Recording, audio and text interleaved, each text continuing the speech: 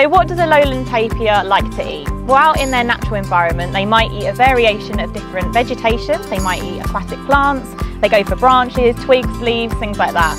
Here at the zoo, we do try to mimic that. So we do give them different types of browse and a variation of it as well. Their favourite is probably willow.